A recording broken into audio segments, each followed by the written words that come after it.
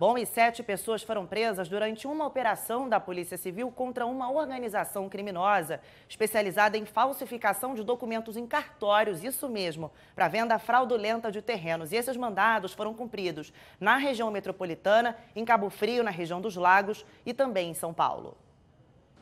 Pedro Gato é apontado pelas investigações como chefe da organização criminosa. Ele foi um dos sete presos hoje pela Polícia Civil na Operação Terreno Alheio, realizada no Rio e em São Paulo.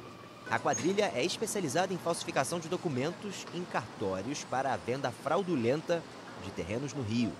A mãe de Pedro, que é idosa, aparece como dona dos terrenos falsos. Segundo a Polícia Civil, o chefe da organização criminosa usava a mãe de 73 anos para convencer as vítimas a caírem no golpe. Hoje, ela chegou presa à cidade da polícia e negou que tivesse conhecimento do crime. Não sabia que isso era usada. Não, não sabia nada. Esses, Mandou esses... assinar, eu assinei. Esse homem perdeu 200 mil reais com um golpe. Ele compraria esse terreno em Cabo Frio, cidade da região dos Lagos, próximo à praia, um local bastante valorizado. Terreno que fica a 80 metros da praia, entendeu?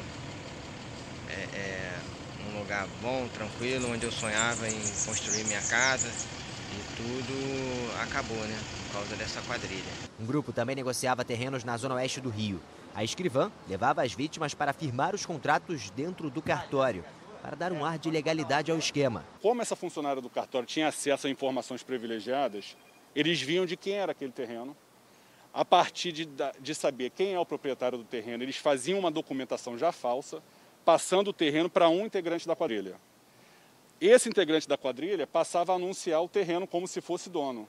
A vítima ia até ele, ele mostrava o documento, um documento feito cartório, pelo cartório, o papel era bom, timbrado, só que o conteúdo do documento era falso. Ao todo foram expedidos oito mandados de prisão e 14 de busca e apreensão. Depois de preso, Pedro confessou os crimes. Os acusados respondem por organização criminosa, falsidade documental e estelionato.